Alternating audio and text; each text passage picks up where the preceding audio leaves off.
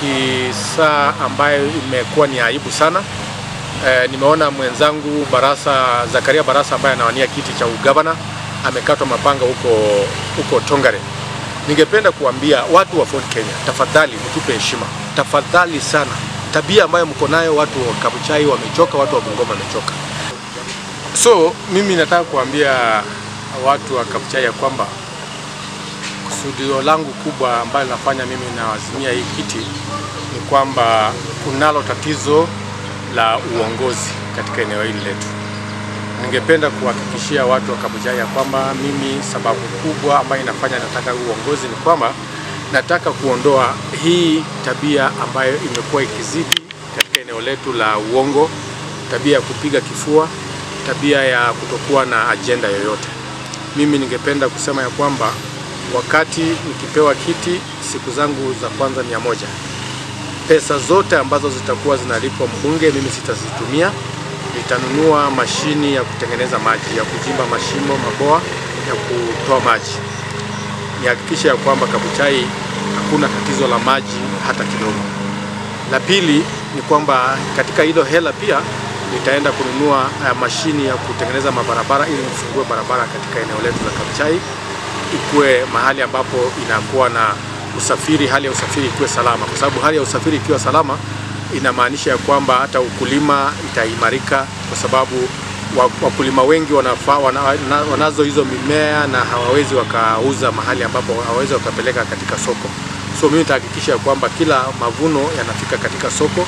Ya tatu ni kwamba nitaweka elimu kipaumbele, nihakikishe ya kwamba hasa hii maneno ya basari haitakuwa tu basari ya kufurahisha watu, itakuwa basari ya kusaidia watu, basari ambayo wale ambao wanahitaji la masomo na hawajiwezi, hao ndio nitapatia kipaumbele. Kupitia katika foundation yangu ambayo inaitwa Kakai Foundation, pia nitaongezea pesa zingine ambazo zitakuwa ni za kununua uh, uniform na kulipa mambo ambayo basari haiwezi fanya. Ya tatu ni hali ya afya ambayo nitazingatia kwamba tuko na matibabu katika viwanda ndogo ndogo, I mean, katika mahospitali zahanati kidogo kidogo katika eneo ya ward. Ya tatu nitaleta ofisi ya bunge katika kila ward. Sasa sasa ndio tukue na ofisi katika kila ward, so mwananchi akitaka kitu sio lazima atembee maeneo mengi sana ama aende mwendo mrefu sana ndio aweze kupata huduma. Tahakikisha kwamba niko na maofisi ine katika hii sub county so that wakitaka kama basari wanafika katika ofisi ya ward, wakitaka kitu kama ya elimu wafike kwa ofisi ya ward, wakiwa na mahitaji wanafika kwa ward, si hawatakuwa wanaenda tu kwa sub county office. Ya mwisho ambayo ningependa kufanyia watu wa Kabuchai ni kwamba ningependa kwa maono yangu nihakikishe ya kwamba vijana wamepata kazi, na kuna tabia ambayo mimi naona ni kama siipendelei, tabia ya watu wameajiriwa katika eh, CDF na hao ndio wanafanya makontrakt. Mimi nataka kuhakikishia wakaaji wa Kabuchai ya kwamba kila mtu atakuwa anafanya kazi moja, hakuna mtu atafanya kazi mbili. Hawezi kuwa kwa CDF kama vile najua PA na mjumbe wa Kabuchai sasa hivi wamefungua kampuni kama 28 hao ndio wanafanya kila kandarasi ambayo inapatikana Kabuchai, hao ndio wanafanya. Ndio maana ukiuliza mjumbe wa eneo hili letu ni vipi amenunua magari ile amenunua, ni vipi amejenga mahoteli ile amejenga, ni vipi maisha yake imebadilika kwa ghafla, hivyo hawezi kuhesabu, kwa sababu kandarasi zote ambazo ziko katika eneo hili letu yeye anafanya. Mimi kwa ma mahali ninakaa kiwango yangu, niko na mahali naweza pata fedha siwezi nikakuja kusukumana na raia wa Kabuchai kwa katika kusukumana na hii pesa ya CDF. CDF itakuwa ni pesa ya raia wa Kabuchai, wala haitakuwa pesa ambayo nitakuwa naitumia mimi kujinufaisha mimi mwenyewe.